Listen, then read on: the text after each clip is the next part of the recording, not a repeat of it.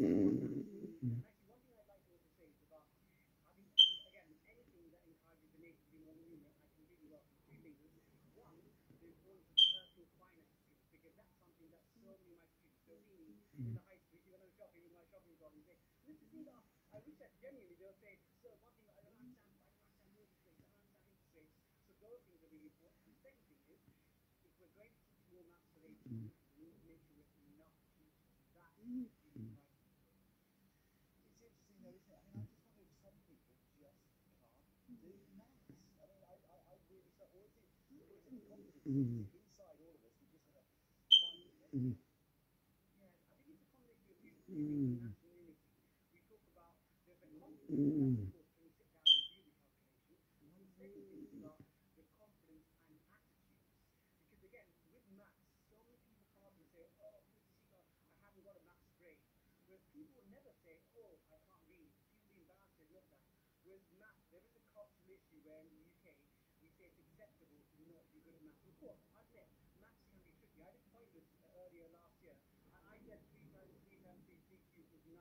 So I made a mistake. I'm a mathematician. It's okay to make mistakes. But the key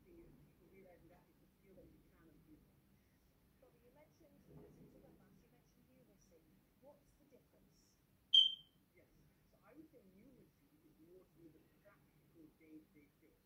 Think about maths, you think about your, hmm. your geometry, maybe your statistics, your algebra, things that maths might be a door teaching. The new side is the day-to-day things. Again, this morning, there will be people out there checking their train times, working, on these I need 10 minutes to get to the station, half of my train, 10 minutes to work, all we were thinking about dinner this evening and saying, after, I've got to feed my family for, need to pop into the shops, I've got a channel in my pocket, I mean, I mean, food, I into cooked meal. Again, there will practical music to the people out there are using maths, especially music, whether they realize it or not. And we've all got phones, haven't we? And those phones have calculators on. So, I mean, maths is in our pocket. Yes. And I think that's one thing. Some my students often thinking that they sir, oh, I've got a phone, I don't need to use maths tools. I'll give you one quick example. In my lessons, I think a couple of years ago, in year 8, we worked out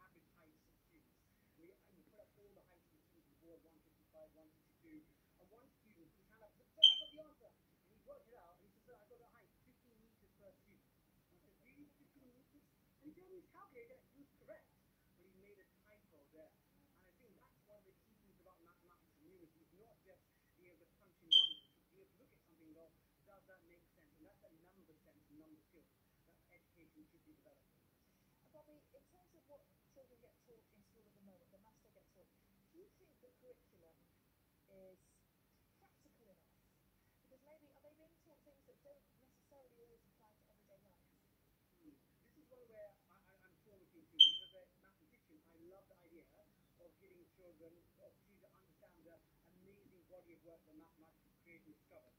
But it's the practical side. Again, one of the things, again, I have a GCSE class uh, in year 11, and one of the things they keep telling me, when will I think a lot of the things are personal finance side, especially you see with the cost of living crisis, understanding mortgage rates, rents, interest, inflation. So I I urge the government, when they're looking about practically how they're going to um, put forward this measure of getting more students to do maths beyond 16, what exactly is the maths? There is a course called Core Maths, which is for students that have done GCSE but not using A level. Uh, that, that talks about estimation skills with students. I think it's the, the practical side, the personal finance in particular, is really valuable. Bobby, I think you speak the truth this morning. Thank you very much. I wish you'd been my maths teacher. I wish you could be my Still maths time. teacher now. Yeah, but still tired. Never too late. Well done, Francie. Thank you. You're out of the woods. Right, time to get the news, the traffic, and weather where you are. We'll see in a second.